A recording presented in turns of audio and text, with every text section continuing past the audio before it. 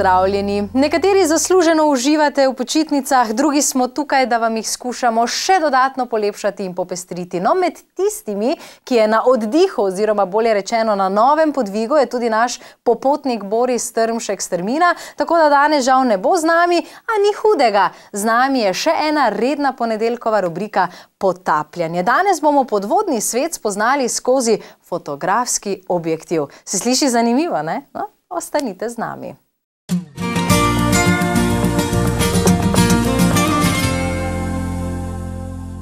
Svet pod vodo lahko vidimo na dva načina. Prvi je, da postanemo recimo potapljač, torej da obiščemo potapljaško društvo Nitrodiving in se odločimo za upravljanje potapljaškega izpita oziroma tečaja. No, drugi način pa je ta, da pogledamo kakšne čudovite fotografije oziroma posnetke. Ker smo o tečaju potapljanja že govorili in ga tudi podrobno predstavili, se bomo danes posvetili tistemu drugemu načinu. V studiu Klemen Tasič, inštruktor potapljanja in Leon Žel, podvodni fotograf. Fanta, pozdravljena. Jaz pod vodo vidim samo toliko, kolikor mi dopuščajo moja pljuča za 15 sekund, ne vidim, o, ne bo me nič pojedlo in to je to. Klemen, ti kot potapljač vidiš marsikaj, videl si že marsikaj, zanima me tudi, ali si tudi ti kdaj naredil kakšno podvodno fotografijo? Tudi sam sem na začetku moje potapljaške karijere Uh, seveda, gre hitro kupiti fotoaparat in želo, bom rekel, te podvodne utrinke prenesti tudi na kopno in deliti z svojimi prijatelji. Res pa je, da podvodna fotografija zauzema celega človeka, moraš imeti tudi podvodno žilico, da se s tem lahko ukvarjaš. In uh, kar kmalo sem spoznal, da je za mene bolje, da pod vodo, da pod vodo ne nosim uh, podvodni fotograf, podvodno uh, objektiv podvodnega foto, uh, fotoaparata. Uh, ker enostavno v Sloveniji obstajajo zelo dobri uh, inštruktori, podvodni fotografi, in eden izmed teh je tudi Leon Žel, katerega jaz zelo cenim na področju podvodne fotografije in verjamem, da bo nam danes marsikaj lepega predstavil uh, z vidika podvodne fotografije. Ti boš torej ostal pri tistem, da bo še naprej iskal uh, torej morske deklice, ne pa jih fotografiral. Res je. Leona, si ti že kakšno našo mogoče na teh tvojih podvigih obstajajo? Še iščem. Še, še iščeš, no, me veseli. Ja. Sicer pa super, da si si vzel čas, da si danes tukaj. Jaz klemno zaupam, ko govori o strokovnjakih. Nisem pa vedela, da podvodni fotograf za to, če se seveda želi profesionalno s tem ukvarjati, potrebuje tudi nek tečaj. Ti si to vse upravil, očitno. Ja, to je potrebno nekaj tečaj, oziroma dosti je treba prebrati, dosti izkušenj, pod vodo je treba dosti ur porabiti. Uh -huh. In potem ti to da neki povratne informacije in iz tega potem začneš nadgrajevati celotno zadevo. Zakaj si se ti odločil za podvodno fotografijo, ko pa zunaj na kopnem tudi marsikaj lepega? Vse slikam tudi na suhem, pa vendar tako kot Klemen povedal že prej, Uh, ko sem se potapljal, moja družina je vedno spraševala, pa kaj si pa videl, pa kaj si videl. In to, to so take stvari bile pod vodo, ko enostavno se ne da pojasniti. Ne? To so tako, kot je Klemen, tudi jaz sem prvo vzel eno tako imenovano trotlico kamero v roko, posliko nekaj eh, posnetkov, ki so pa bili koliko toliko solidni. Ne? Eh, s časoma pa zahteve rastejo. In tudi želje, verjetno, tudi želje, in potrebe, ja. in vse, ne, da vidiš, koliko še lahko napreduješ, Tako. in koliko lahko narediš. Koliko časa se že ti ukvarjaš s podvodno fotografijo? Skoraj deset let. Skoraj deset let. Klemen dosti dela naj čaka ne, na teh naših skupnih potopih. Mimo grede pridno se že učimo za tečaj potapljanja. Tako da super, da si tudi iz tega vidika super, da si tukaj, da vidim, kaj vse nas čaka na teh podvigih. Zdaj sicer, jaz si nisem znala predstavljati, da potrebuje podvodni fotograf takšno opremo, to je takšna profesionalna že pravzaprav, ne? Ja, to je polprofesionalna. Polprofesionalna. Ja. Aha, torej od trotl zihrce v plastičnem okvirju, da ne pride voda zraven do tega in iz tega na še hujšo, boljšo opremo. Še več. Še več. Še več. Ja. Ok, dobro, bomo se mi pri tej ustavili, ampak dajmo povedati še nekaj o samem tem tečaju za tistega, ki boste danes videli te fotografije, ogromno jih imamo. Kaj je tisti prvi korak za nekoga, ki želi uh, postati, torej uh, uh, se ukvarjati s podvodno fotografijo? Kaj ti svetuješ? Najprej tečaj ali najprej neka trotl zihrca, da vidiš, če si za to? Uh, vsekakor je treba prvo opraviti osnovni potapljaški tečaj, uh -huh. zaželjeno je, da, da naredi tudi naprednega, ker pod vodo se ne sme več ukvarjati sam svojo opremo, uh -huh. ker je, potrebuje več časa za fotografsko opremo, kot vidite, ni malo, kar pomeni tudi neke določene ovire pod vodo. Tako da mora biti že dobro sproščen, mora imeti eh, dobro plovnost, eh, da se s tem ne ukvarja in šele potem se začne lahko ukvarjati z fotografijo. Je podvodna fotografija težja ali pa bolj zahtevna v primerjavi z to, jaz bom kar rekla, na suhem? Je, je, sigurno je zahtevnejša. Eh, če že pogledamo ene osnovne eh, zadeve, eh, na suhem, ko slikaš, mogoče za trenutek zadržiš sapo, da narediš oster posnetek. Pod vodo, če želiš to narediti, glih tako zadržiš sapo, ampak te začne dvigovati. Recimo, ne. Dvigovati? Ja, ker si na polno pljuča in Aha. se ti poveča volumen in avtomatsko si dobo večjo plovnost.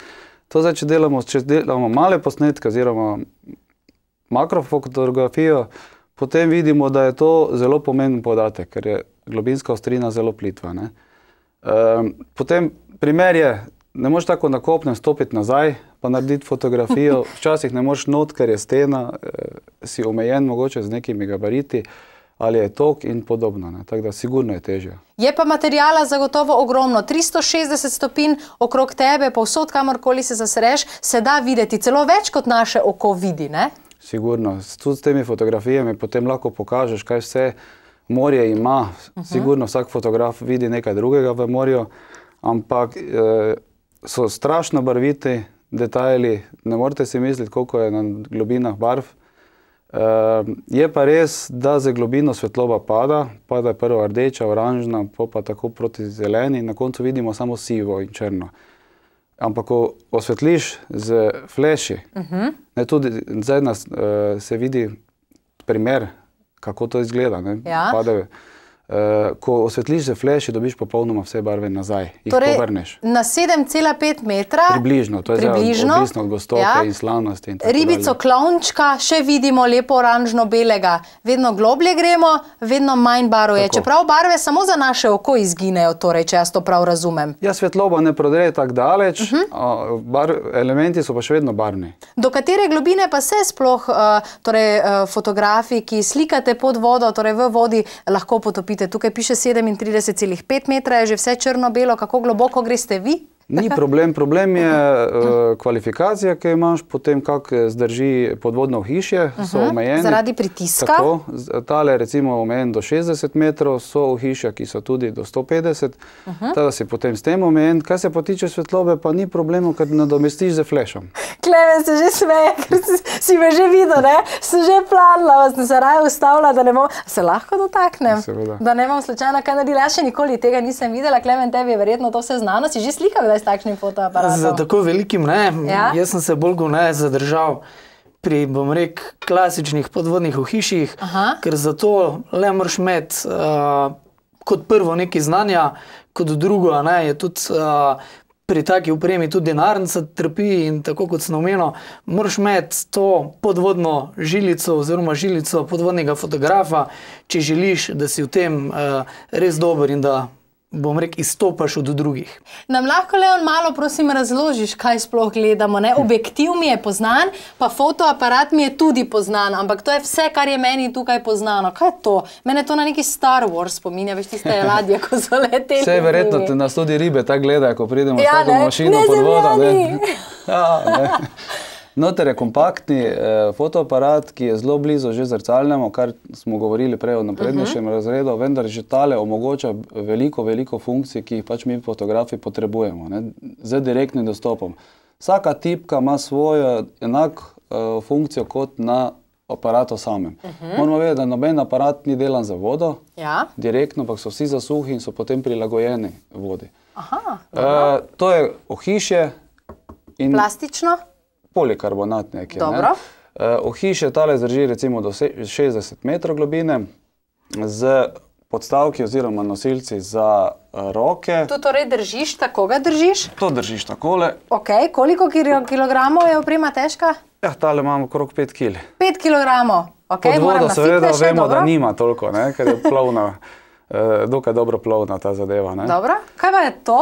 To so pa To je pa bistvo, najmočnejši del podvodne fotografije, to so fleši, eh, ki imajo točko, ki osvetljuje skozi, konstantno, ja, zato da vemo uh, lokalno. Ja. Uh, kako je pozicionirana luč in potem, ko mi tu sprožimo preko vseh teh kablov, se sproži tudi tale flash. Ne. Hm, Kabli so pritrjeni zato, da te ne motijo, verjetno. Tako da mi gleda, da ne zahaklaš noter, so lahko uh -huh. veje. Je to digitalni korale. fotoaparat? Ja. Digitalni, digitalni. O, super. Dajmo pogledati, kako je nekoč izgledal pravzaprav o, fotoaparat, oziroma tukaj ima še, uh, tako je izgledal nekoč. Ne? Zdaj, seveda, hvala Bogu za 21. stoletje. ne? To so pa naši mojstri, to so v bistvu slovenski eh, začetniki podvodne fotografije, uh -huh. ki so naredili celo podvodni posnetek pred. Eh, v bistvu najstarejši posnetek, pravzaprav naš. Samo internet eh, govori o drugih podatkih, očitno za naše niso uspeli prijaviti, uh -huh. ampak se po datumu vidi, da je starejši kot tisti, ki je uradno prijavljen. ne. Kot najstarejša podvodna fotografija. Ja, ja. Slovenska je. Ja. Uh, Mi smo vedno modeli. ja, ne, valjda, mi smo pionirji, potem se pa drugi učijo. Tudi v hiši so delali, torej recimo to v hiši je, so narejeni sami uh -huh. in je spode odprto. Dela pa, da ga potopiš noter, malo tež spode, iz zrak noter, eh, se samo stisne, ne more pa poplaviti kamere. Ne? Zelo zanimivo, to pa nisem vedela. Bravo, naši bi lahko rekli. Juhu. Tukaj si sabo, juhu, ja. Tukaj si sabo prinesel tudi eno knjigico, je to tu vse not zabeleženo, če koga še dodatno čtivo zanima. To je en podnatis, ki se je ena redkih knjig, ki se je po 45 letih naredil podnatis. To je uh -huh. naše društvo uspelo pridobiti. Mhm. Katero eh, društvo? Potopljaško društvo Maribor. Dobro. Je uspelo pridobiti uh, licenco, oziroma smo dobili vsa soglasja avtorjev. ne. Hmm. No, tudi ti si izdal eno knjigo, če smo zdaj že pri knjigah, osnove podvodne fotografije. To je za takšne šalabajzarje, začetnike, kot smo mi dva skrevno. Ja. No, sigurno nekaj o fotografiji treba malega vedeti. Uh Mhm. -huh. uh, je pa potem so tu specifike noter, ki so značilne za vodo. Ne, in neko razumevanje fizike pod vodo, kaj se dogaja. Uh, želel sem to narediti, ker vidim, da vsi začetniki imajo težave z samim začetkom. Išče se po internetu, išče se literatura, vse in tega, in je tega toliko na spletu, da te samo zmede. Ne. Preveč torej. Preveč. Jaz sem skušal strniti v eno logično, enostavno zadevo. da Jedrnato predvsem Tako, vidim. Ne? tako. To je zelo pomembno. Se da že to kupiti, je to že na voljo? Je, je. O, osnove podvodne fotografije Leon Žel, to si zapomnite, še enkrat jo bomo pokazali, režija, da boste vedeli. Ja, poletje se bliža, na morje bomo šli, ne? Morske deklice, ja, treba loviti. Pa ribice in rakce in školke in uh, vse živo boste videli. Sicer nekaj fotografij pripravljamo tudi uh, takoj po kratkem odmoru, tako da fanta, če sta za, bi naredili eno kratko pauzo, potem pa Leon spet ti, danes Klemen si ti bolj v drugem planu, ne? mi dva se učiva spet. ne. Uh, kje se je, mogoče samo toliko, kje se je najlepše potapljati? Oziroma bom tako vprašala, ali je kje tukaj v bližini, naši bližini, lep, čudovit podvodni svet, za katerega večina ne ve? Tudi naša reka, jezera imajo ogromno nekih lepih zadev, uh -huh. je pa res, da je bolj problem vidljivost. Ne. Dosti je mulja, ni toliko smisla umazana kot umazana, ampak je muljnata, kar dela tudi precej problemov pri sami fotografiji. Eh, Boste poli slik videli, tudi Drava ima eh, nekatere Drava? zadeve noter Wow. eh, in ni za- niso zanemarljive, samo je pa malo težje dostopna. In zato se mi moramo potapljati tudi bolj v zimskih časih, ko je vidljivost boljša. Ne. Ha, mrzlo torej, ko je mrzlo. Tudi tri stopinje ima voda včasih. Klemen sva se že malo spogledala, tako poševno, ne? Ja, ampak brez skrbi, a ne, ko bo šla ti v vodo, ne Ja. ja. bo šla v Dravo, ampak bo šla najprej v bazen, pa pa v morje. Te me čateš. In eh, Na tam voda 30. nima tri stopinje. a Ne? No, dobro, okay. K tej opremi se še vrnemo, ker jaz predvidevam, kolikor sem uspela eh, že se odklemna naučiti, kar zadeva vse, kar je pod vodo, je kar precejšna uh, zalogaj. Pravzaprav. Vse moraš imeti, ker si tam odvisen od svojega znanja, od sebe, svojih sposobnosti. Zdaj pa, če še to ne še zraven, verjetno to ni dovolj. Ne? So še kakšni drugi dodatki? So, so. So, so. Kakšni? Uh, tule se vidi, recimo, tale je širokokotni nastavek, ta se sname pod vodo. Uh -huh. To je tale zadeva. Mhm. Aha, ne. dobro. Kar ti poveča kot, kadar želiš eh, slikati široki uh, ambient ali podobne zadeve. ne. Tam, na, ko smo prej pogledali, to je en makro nastavek, Ja. to, s tem, to je prav tako moker, uh -huh. mokra leča. Eh, In eh, s tem slikamo razno razne polžke. Kot boste pol, vi- eh, pol videli tudi na sliki, polžek, ki ni večji kot pol centimetra, centimeter, boste videli, kakšna fotografija iz tega nastane. Ja, dajmo kar pogledati, zdaj, če že tako lepo napoveduješ te fotografije. Mislim, da bi mi dva lahko kar sede že malo zamenjala, bi ti lahko napovedoval na mesto mene. Ampak najprej, kje smo zdaj? To je, To je sladka voda, ne? Drava, kot Ja. vidite, to so mrene, ki so velike 60-70 cm. Uh, predvideva se, da je to najglobji del Drave. To je eh, koliko? 24 metrov, koliko smo bili. Eh, Spodaj je popolna tema in te mrene v zimskem času dobesedno ležijo. Mi, ko smo prišli zraven, se samo prekla, pretaka ena preko druge, tako da je zelo težko fotografirati, ne, ker se bojiš, da ti bo dvignil spet isti mul. Na tej fotografiji izgledajo vsaj dva metra dolge. Ja, se, nekatere to je že prav ribiška. Ne? Ja, Malo, prava, ja. No, ne bi rekla, da je pravzaprav tako polno življenja v Dravi na tej globini. Na tej lokaciji je bilo sigurno enih 50 mren. Kje točno to je bilo?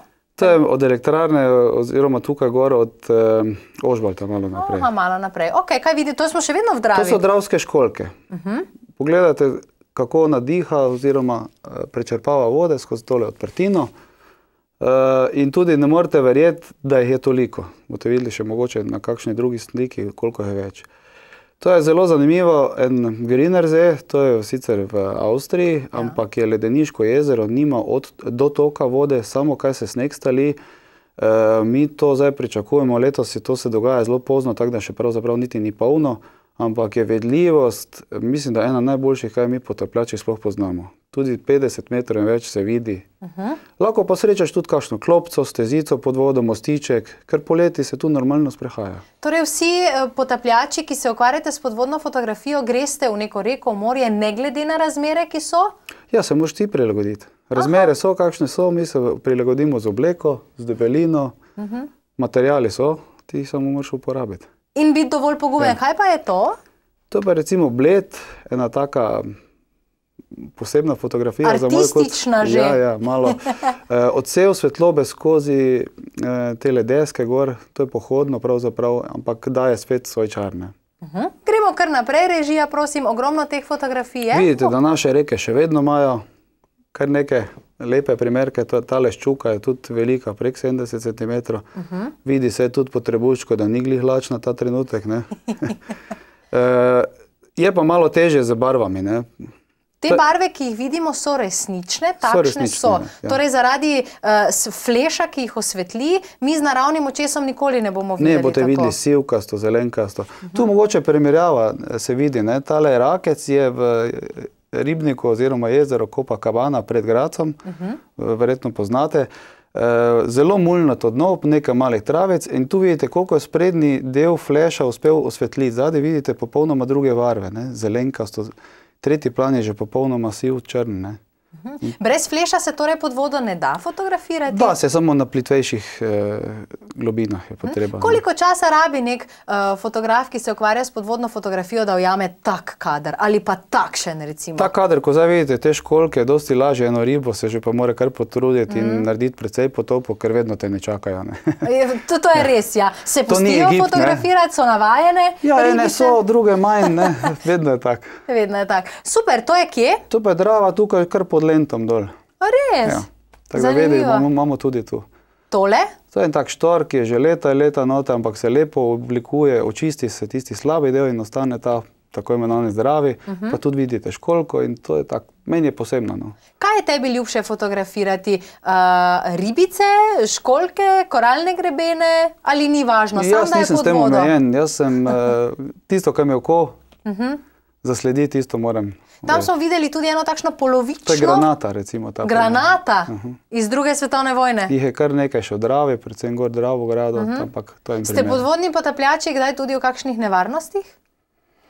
Ha, tako, ne rabiš biti fotograf, da si v nevarnosti, ne? uh -huh. to pride samo več. Ampak če pa zraven. greš kakšne morske pse fotografirati, pa Tudi to smo upaj, delali. da so siti, ne? Ni hudo, hitrejši moraš biti kot oni drugi partner. da je on hrana. Ne? Ja. To je takšna polovična fotografija, Tako. pol pod vodo, pol nad.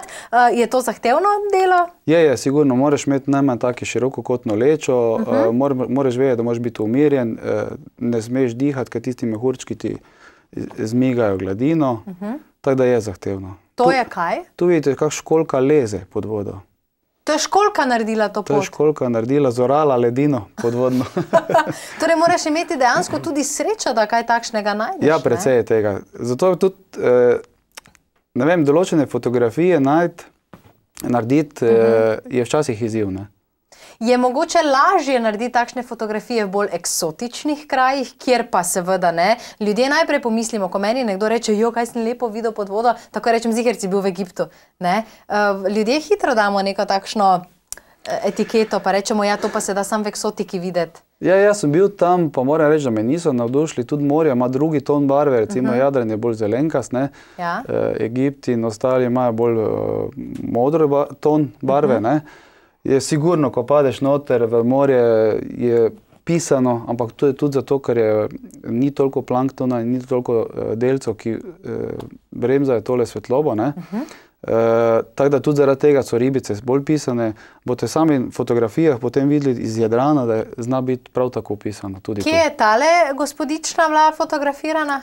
Ah, to mislim, da je na otoku Krku. Aha, Jadransko morje je čudovito, idealno za takšne podvodne Oh, brez skrbi tega je zadosti, samo je treba najti. Je treba najti. Kakšne potopljene ladje tudi. To je tak verjetno, ne? polžin, ko sem ga prej omenil, pogledajte barve, eh, ta ni večji več kot centimeter.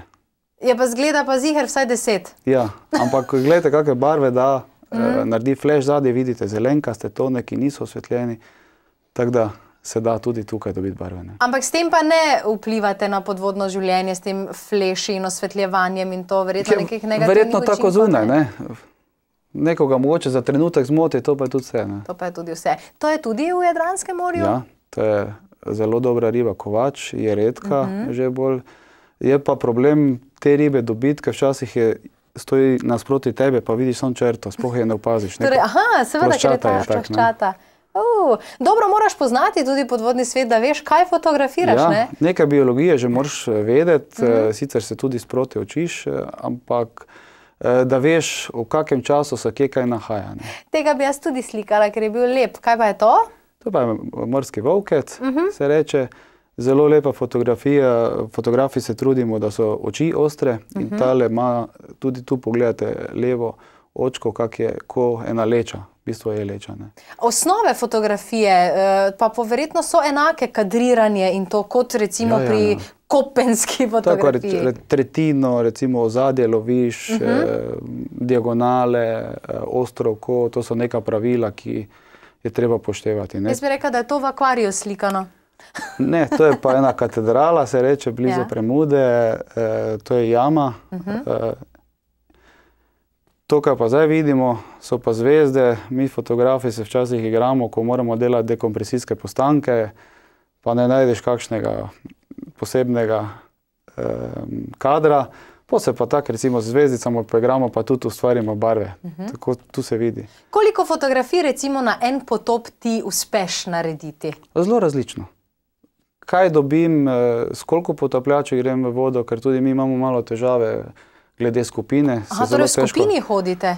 Ja, načeloma sam potapljača naj ne bi potapljal, vsaj paro. Uh -huh. Pol skušamo iskati take, da je še kak fotograf, da se mogoče lahko lahko oddaljimo od skupine, ker konec konca gremo običajno z isto barko in se nas čaka običajno. Ne. Kaj pa potem, ko prineseš fotografije, ko končaš z eno uh, misijo, z enim potopom, moraš fotografije še posebej kaj predelati. Zdaj barve osnovne imaš čudovite, ne? tu se ne rabiš verjetno s tem ukvarjati. Ja, približno toliko priprav, ko imaš na uh, potop, uh -huh. vidite, samo oprema, to je treba iz kovčka zložiti, že doma je treba pripraviti, uh, o-ringe namazati, uh, vse prekontrolirati, če vse stoji tako, mora biti, da ti je na potopu ne zataji zadeva. Potem moraš zadevo spraviti ven uh, in še ostane postprodukcija, spet oprati vso opremo uh -huh. in posušiti in nazaj zložiti. Imate potapljači med sabo tudi kakšna tekmovanja, kjer bo dobil danes, pa gremo na lov za belim morskim psom in kdo ga ujame in kdo ga najlepše fotografira? Uh, so, so tekmovanja, tudi v Sloveniji obstaja državno prvenstvo. A res? Ja, ja, in se vsako leto je to v Piranu. Uh -huh. uh, in so tudi, uh, če bi te slike videli, fantastične fotografije, ko vsi mislijo, kakšen je Piran, mulna se ne vidi. In če bi videli te posnetke, bi videli, da se res da uh, nekaj videti. Ne. Ja, mogoče jih boš pa kdaj delil z nami, z veseljem te mi še kdaj povabimo v studio. Te ribe se pa bojim. Morena? Ja. Ali kako se to že imenuje? Ja, morena. Ta je kot ena grda babica, vedno deluje. ja, ampak pozira pa, ne? malo se ti je celo nasmehnila, vidiš tako, ha, tu sem. ja, pride pogledat vedno. Radovedna duša. Dobro, če se nekdo torej odloči za podvodno fotografijo, mogoče ni odveč to vprašanje, začeti je pač treba z nečim enostavnim, bolj cenovno primernim, da sploh vidimo, če smo za to. Tako. Kaj pa, ko nekdo res vidi, u, jaz pa sem za to, ali pa si zada cilj, da bo lažo morske deklice, kaj pa potem sledi? To je verjetno kar nek finančni zalogaj, takšna oprema, ne? Je takšna oprema, vidite, da je to polprofesionalno, kot sem že omenil.